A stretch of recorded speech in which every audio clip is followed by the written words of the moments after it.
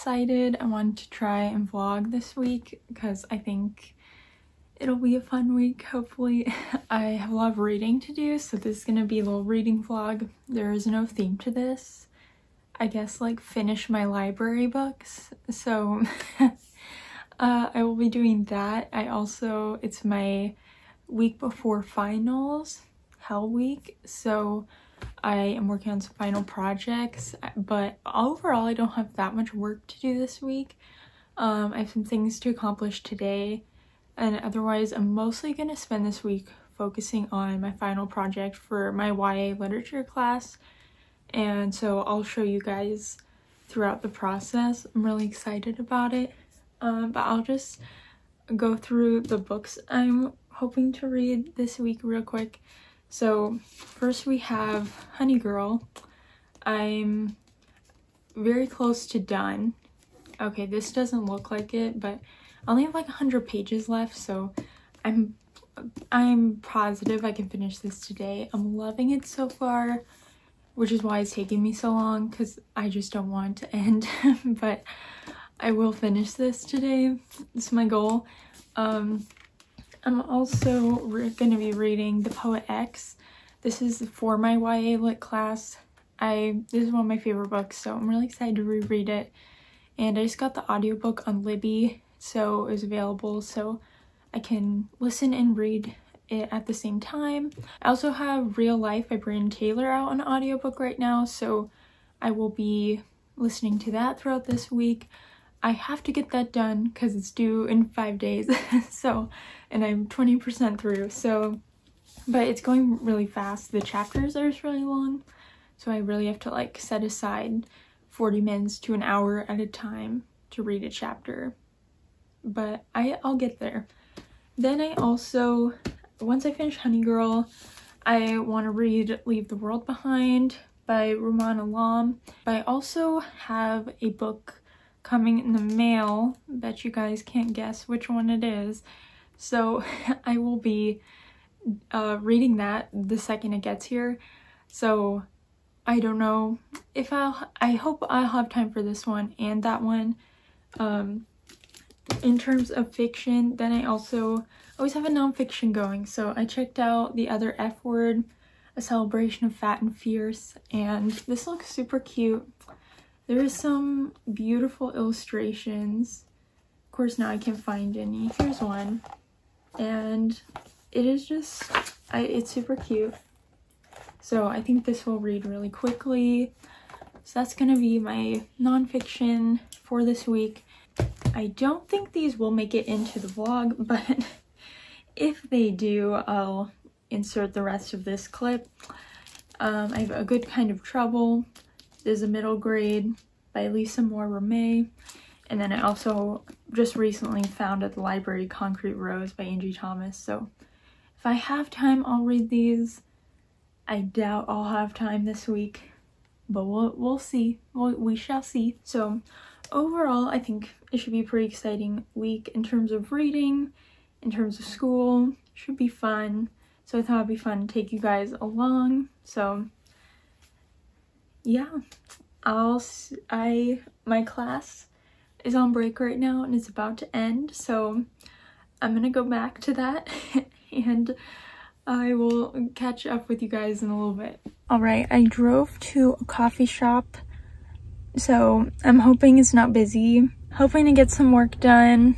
Hoping to read The Poet X and do some readings and then hopefully do a little bit of work on my final for one of my classes. We'll see.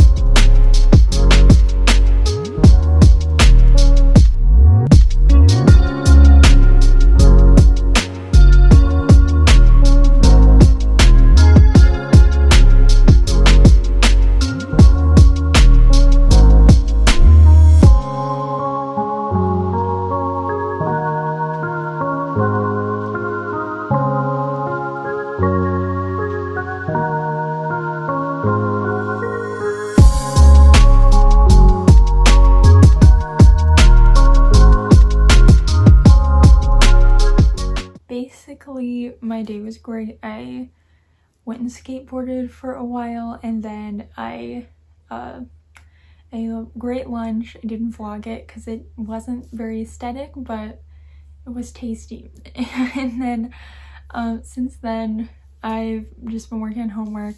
I read the entirety of The Poet X. It was so good, just as I knew it would be.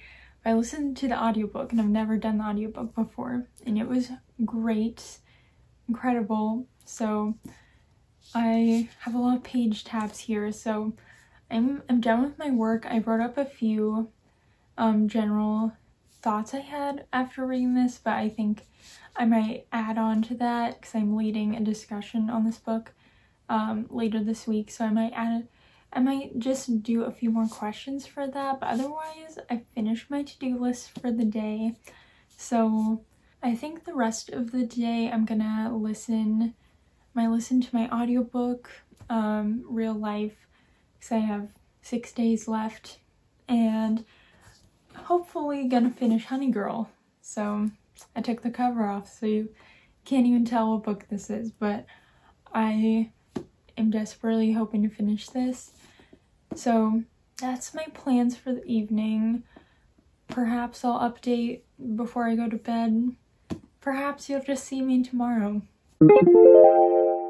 Hello everyone. So it's Tuesday. It is currently 11 a.m. and all I've done today is get ready. So I'm kind of having a late start to the day, but a little reading update. I did finish Honey Girl last night and it was very good. I loved it. I just really relate to the main character. I love it. I loved it so much. I do get how some people maybe didn't like it based just because they had different expectations. I got this through Book of the Month, so I saw it was labeled as a contemporary and not a romance, so I knew it wasn't going to be like a fluffy romance, but I think it must have been marketed that way in some circles because uh, several people have said how they thought this would be a romance and it wasn't.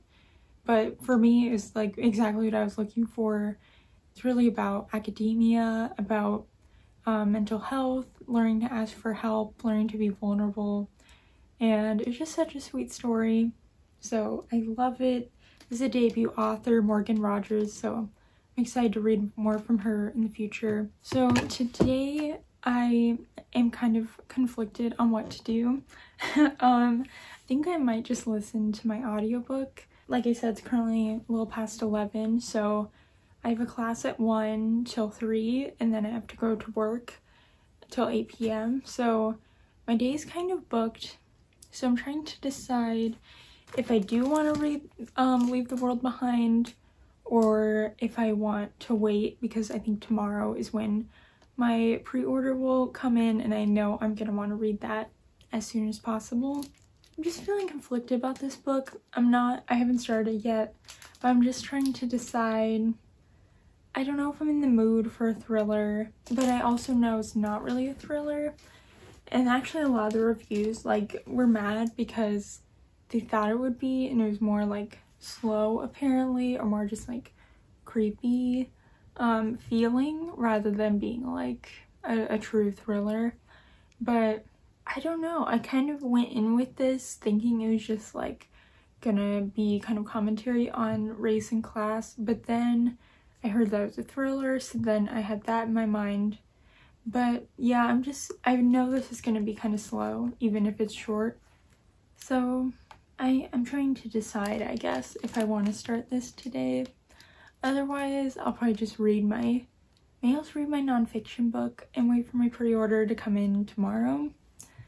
Um, but then, um, yeah, so I'm trying to decide if I want to, um, try to read this or just return it to the library when I go to work tonight. But yeah, that's that's all for my day. I don't have much to do in terms of homework. Um, just a couple little things, so should be somewhat chill of a day, not as much work as yesterday. So that's good. And we'll we'll see when I update you guys again. Hopefully by then I'll have picked a book to read.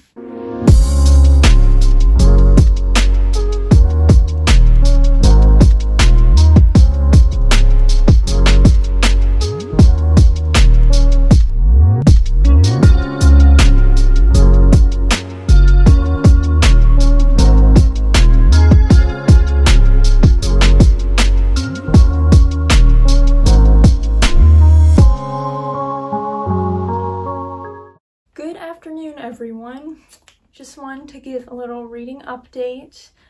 I listened to Real Life last night and for a couple hours. So I was at 18%, now I'm at like 60, 62 or 63, something like that. So I have, I've listened on two times speed, so I have about an hour and a half of listening left. So I'm hoping to finish that tonight. Um, I've only read about 40 more pages of A Good Kind of Trouble. So I'm on, I'm on page 85 right now, but it's going well. I love it and I, I can totally see where it's going, but I love it. I think it's handling so many different conversations that is so pertinent to this age group and they really need um, some guidance on dissecting some of the nuances of identity and about race and Black Lives Matter, and it does not shy away from that. So, loving it. Can't wait to see where else it goes throughout the rest of this novel.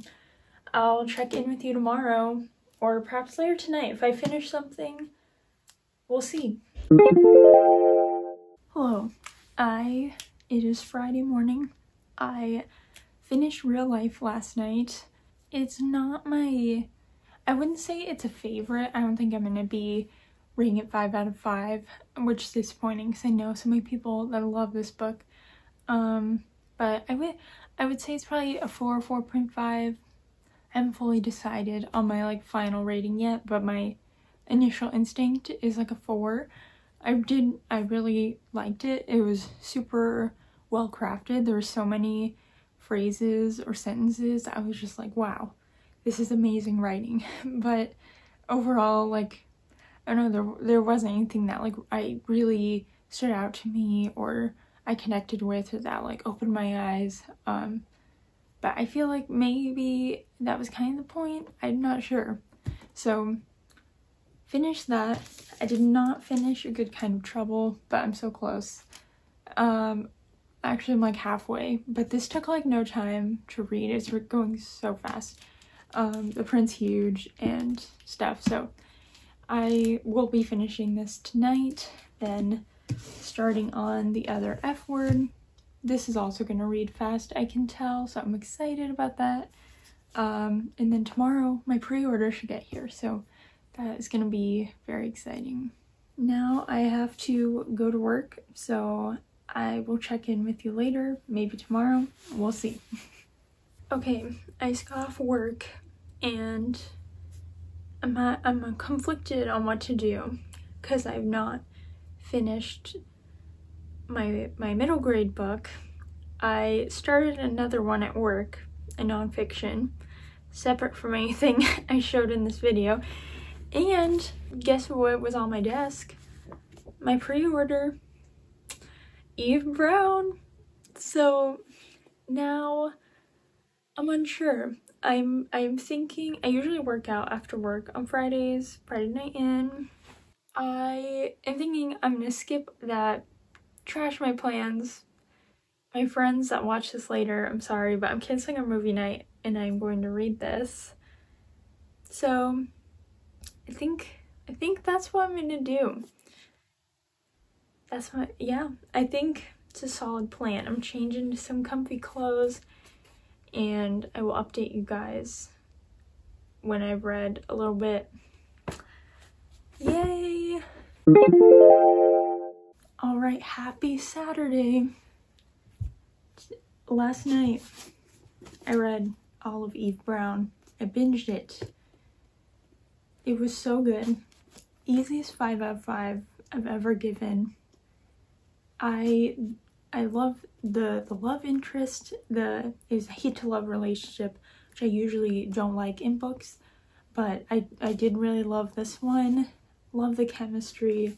I also loved the the self the development that was it called character development that Eve goes through is so so beautiful and I love the autistic representation in both of these characters, especially in Eve um, we don't get autistic women portrayed very well and if um, they're usually when we do is very stereotypical so I am so pleased with this I cried several times I felt so seen for the first time in my life. It felt like the first time that I read a something with lesbians it and, and felt like finally I was being represented. It felt like that again.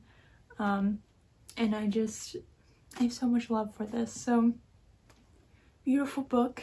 Just came out on Tuesday, uh, March 9th. So, it's in stores now. Pay, please pick it up. I really want Talia Hibbert to write more of these books. Like, let them, let them get married. Let them have children. Let's go through their whole lives, you know? Because I want more from these characters. And I'm so, if this is it, I'm, I'm so sad that this series is over. So, that's my thoughts about this. Now, I'm gonna go to work. See ya. Hi everyone, it is currently Monday. I am just gonna wrap up this vlog because I did not film yesterday. So over the weekend I did finish A Good Kind of Trouble. I really like this. I gave it four stars. This is a really cute middle grade and it really, it there's so many themes going on here. There's definitely a lot of stuff about Black Lives Matter, about race, and particularly about specifically how anti-blackness in the US context is very different from other forms of racism. And so I really liked that nuance and just liked the the conversations this could open up. And then there's also just the like aspect of being in middle school and friendships changing and wanting to kind of grow up and you know wear makeup and that sort of thing. And so I really liked that aspect. Overall, it's a really fun book, and I definitely would recommend it to people in like late elementary and middle school. Then I also, over the weekend, read American Born Chinese. I read this for my YA Lit class, and it was really fun. I've read this before, but I kind of forgot what happens. And so reading this again, it felt like I was reading it again for the first time and the ending is just mm, is so good so I, I really like this. Then I also finished the other F word. It's really fun really quick and I really like the variety of essays included in here.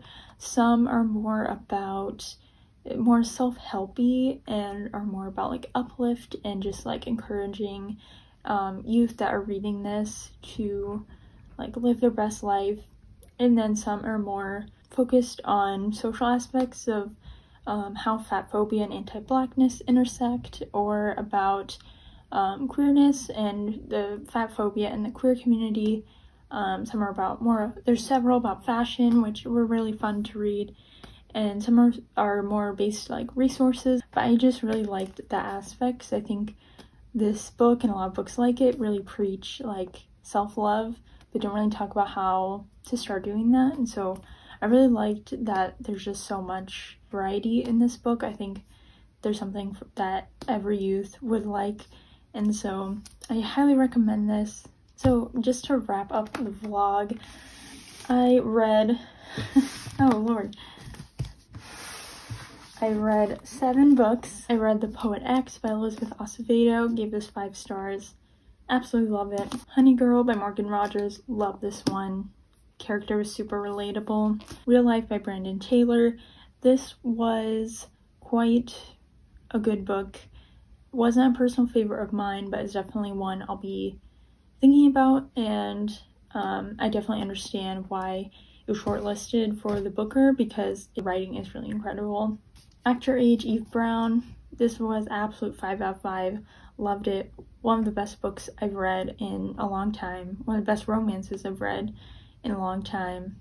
And I love the representation. It, it doesn't get better than this. A Good Kind Trouble by Lisa Moore Ramée gave this a 4. Loved it, great middle grade, highly recommend it. American Born Chinese by Gene Luen Yang. Definitely recommend this one. It is a really well crafted story. Yeah, that the ending is incredible the way that the stories thread together. And finally, the other F word, edited by Angie Manfredi. This was great. I think I give it a solid four. um, was really, really great, really fun. Definitely not something that is written for me at all. I am not fat, I'm not a teen, but I still got a lot out of it, and I think it'd be really, I definitely recommend it to people who fall into one or both of those categories. Um, I think they definitely would get more out of it than I did, but I still really enjoyed it, enjoyed reading it. These are all the books I read in this vlog. I hope this vlog was fun to watch. I know it was a little chaotic because I did not get as much fun film as I hoped to. So as always, if you like this video, would love a thumbs up. Please subscribe if you haven't. Leave a comment down below telling me what a book you've read recently. I'm planning to do kind of a TBR video soon, so I would love some recommendations that I could possibly include on that list. So, hope you have a lovely day and see you in the next one. Bye.